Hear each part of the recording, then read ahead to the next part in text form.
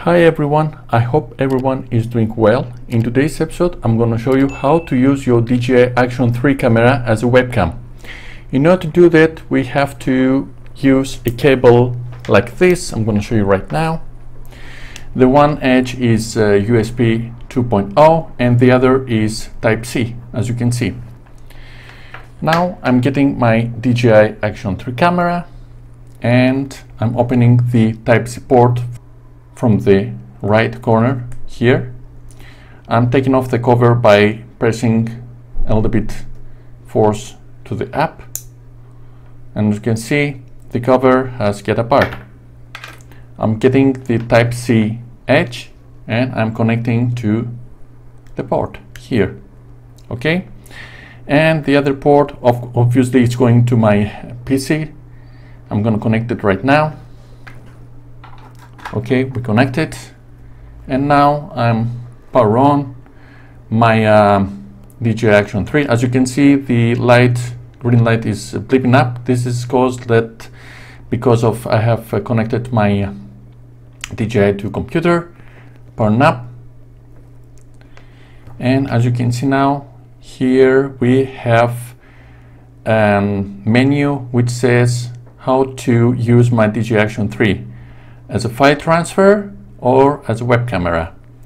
I'm selecting the webcam. It says unlock the window. Webcam. As you can see now, I'm seeing myself here. Now I'm gonna show you how to establish your Action 3 camera to OBS Studio connection and uh, use it as a web camera. I'm connecting now to my computer and I will show you how to establish. So I have connected my DJI Action 3 camera to my PC and this view is uh, getting from my iPhone.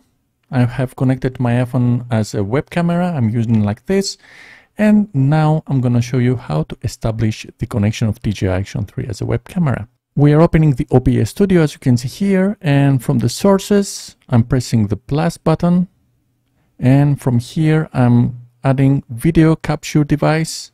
I'm going to name it DJI Action 3. Pressing OK. And now as I have uh, connected my DJI and I have uh, established a connection from uh, plus icon, we are opening the device manager and we are selecting simply, we are switching to Osmo Action 3 as we have named it. And we are activating and now, as you can see, I'm getting the view from my DJI Action 3 uh, camera and I've established it completely as a web camera. I'm pressing OK. And now simply you can uh, drag your camera. You can select your camera from here. You can uh, downgrade it and uh, you can locate it everywhere that you want. You can locate it here, up right corner so I'm gonna take the OBS Studio to the right side and I'm gonna show you what I want to mean, what I want you to mean.